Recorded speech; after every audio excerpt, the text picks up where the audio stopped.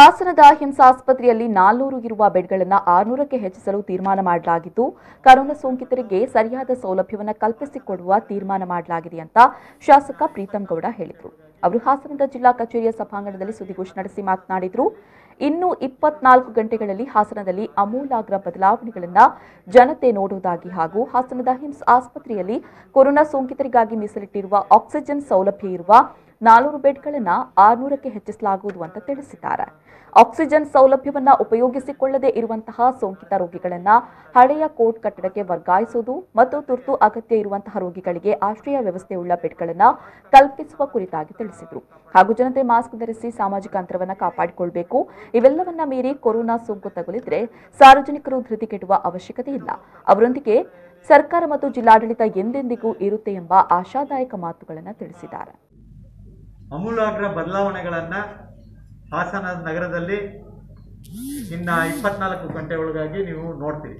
ಮೊದಲನೇದಾಗಿ ಹಾಸನ ಹಿಮ್ಸ್ ಆಸ್ಪತ್ರೆಯಲ್ಲಿ ಏನು ನಾನ್ನೂರು ಬೆಡ್ ಆಸ್ಪತ್ರೆ ಇತ್ತು, ಅದರಲ್ಲಿ ಆಕ್ಸಿಜನ್ ವ್ಯವಸ್ಥೆ ಇದೆ, ಅದನ್ನು ಆರುನೂರು ಬೆಡ್ಡಿಗೆ ಯಾವುದೇ ಮುಲಾಜಿಲ್ಲದೆ ಮಾಡಬೇಕು, ಮತ್ತು ಆಕ್ಸಿಜನ್ ಯೂಸ್ ಮಾಡ್ಕೊಳ್ದೇ ಇರೋರನ್ನ ಪಕ್ಕದ ಸಿ ಸಿಗೆ ಏನು ಓಲ್ಡ್ ಕೋರ್ಟ್ ಬಿಲ್ಡಿಂಗ್ ಇತ್ತು, ಅದನ್ನು ಶಿಫ್ಟ್ ಮಾಡಿ ನಾಳೆ ಸಂಜೆ ಅಷ್ಟೊಳಗೆ ಬೆಡ್ ಅವೈಲಬಿಲಿಟಿ ಮಾಡೋ ಅಂಥ ಕೆಲಸವನ್ನು ಈಗ ನಾನು ಸೂಚನೆಯನ್ನು ಕೊಟ್ಟಿದ್ದೀನಿ. ಅದು ನಾಳೆ ಸಂಜೆ ಒಳಗೆ ಇಂಪ್ಲಿಮೆಂಟ್ ಆಗುತ್ತೆ. ಹಾಸನದ ಜನತೆಗೆ ನಾನು ಒಂದು ಮನವಿಯನ್ನು ಮಾಡ್ತೀನಿ. ದಯಮಾಡಿ ನೀವು ಮಾಸ್ಕ್ ಹಾಕಬೇಕು, ಸಾಮಾಜಿಕ ಅಂತರ ಕಾಪಾಡ್ಕೋಬೇಕು. ಅದನ್ನು ಮೀರಿ ನಿಮಗೆ ಕೋವಿಡ್ ಬಂದರೆ ಸರ್ಕಾರ ನಿಮ್ಮ ಜೊತೆ ಇದೆ, ಜಿಲ್ಲಾಡಳಿತ ನಿಮ್ಮ ಜೊತೆ ಇದೆ. ಏನು ಸರ್ಕಾರಿ ಆಸ್ಪತ್ರೆಯಲ್ಲಿ ವ್ಯವಸ್ಥೆ ಆಗಬೇಕು ಆ ವ್ಯವಸ್ಥೆ ಸಂಪೂರ್ಣವಾಗಿ ನಿಮ್ಮ ಏನು ಒಂದು ವ್ಯವಸ್ಥೆಗೆ ತಕ್ಕಂತೆ ಇರೋ ರೀತಿಯಲ್ಲಿ ನಾವು ಇವತ್ತು ಒಂದು ಮೀಟಿಂಗನ್ನು ಮಾಡಿದ್ದೀವಿ. ಯಾರೂ ಕೂಡ ಧೃತಿಗೆಡಬಾರ್ದು. ಯಾವುದೇ ಕಾರಣಕ್ಕೂ ಆತಂಕಕ್ಕೊಳಗಾಗಬೇಡಿ ನಾನು ನಿಮ್ಮ ಜೊತೆಗಿದ್ದೀನಿ. ನಿಮ್ಮ ಆರೋಗ್ಯದ ಜವಾಬ್ದಾರಿ ನನ್ನ ಜವಾಬ್ದಾರಿಯಾಗಿರುತ್ತೆ. ಆ ಜವಾಬ್ದಾರಿಗೆ ಪೂರಕವಾಗಿ ಬೇಕಾಗುವಂಥ ಎಲ್ಲ ಅರೇಂಜ್ಮೆಂಟ್ಸನ್ನು ನಾವು ಜಿಲ್ಲಾಡಳಿತದೊಂದಿಗೆ ಸರ್ಕಾರದ ನಿರ್ದೇಶನದ ಸಹಕಾರದೊಂದಿಗೆ ನಾವು ಮಾಡ್ತಾ ಇದ್ದೀವಿ. ಇವತ್ತು ಮುಖ್ಯವಾಗಿ ಐದು ವಿಚಾರಗಳು ಚರ್ಚೆ ಮಾಡಿ ಅದಕ್ಕೆ ಒಂದು ಸೊಲ್ಯೂಷನ್ ಅನ್ನು ಕಂಡಿಟ್ಕೊಂಡಿದ್ದೀವಿ ಚೆಕ್ ಏನೋ ಒಂದು ಸ್ವ್ಯಾಬ್ ಟೆಸ್ಟ್ ಮಾಡಿಸ್ತಾ ಇದ್ವಿ. ಅದನ್ನು ರಿಸಲ್ಟ್ ಬರೋದಕ್ಕೆ ನಾಲ್ಕರಿಂದ ಐದು ದಿನಗಳಾಗ್ತಿತ್ತು.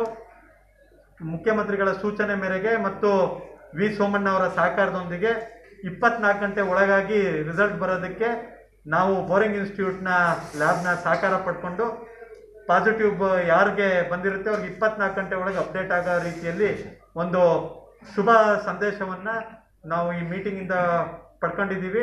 ಹಾಗಾಗಿ ಯಾವುದೇ ಒಬ್ಬ ರೋಗಿ ಅಥವಾ ಯಾರೋ ಒಬ್ಬ ಸೋಂಕಿನಿಂದ ಜ್ವರ ಅಥವಾ ಯಾವ್ದಾದ್ರು ಒಂದು ಸಿಂಪ್ಟಮ್ ಬಂದಿದ್ರೆ ಅವನು ಶಾರ್ಟ್ ಟೆಸ್ಟ್ ಪಡೆದು ಮೂರ್ನಾಲ್ಕು ದಿನ ಕಾಯುವಂಥ ಆತಂಕದಿಂದ ಹೊರಗೆ ತರೋದಕ್ಕೆ ನಾವು ಸಫಲರಾಗಿದ್ದೀವಿ. ನಾಳೆಯಿಂದ ಬರುವಂಥ ಯಾವುದೇ ಶಾರ್ಟ್ ಟೆಸ್ಟ್ ಬಂದರೂ ಇಪ್ಪತ್ನಾಲ್ಕರಿಂದ ಮೂವತ್ತಾರು ಗಂಟೆ ಒಳಗಾಗಿ ಆ ವ್ಯಕ್ತಿಗೆ ನಮ್ಮ ರಿಸಲ್ಟ್ ಕೊಡುವಂಥ ಕೆಲಸವನ್ನು ನಾವು ಮಾಡೋಕ್ಕೆ ಇವತ್ತು ತೀರ್ಮಾನವನ್ನಾಗಿದೆ. ಅದಕ್ಕೆ ಏನೇನು ಸಮಸ್ಯೆ ಇತ್ತು ಅದೆಲ್ಲವನ್ನು ಬಗೆಹರಿಸಿದ್ದೀವಿ. ಮೊದಲನೇದು. ಯೋಗೇಶ್ ಬಿಜೆ ಬದಲಾವಣೆಗಳ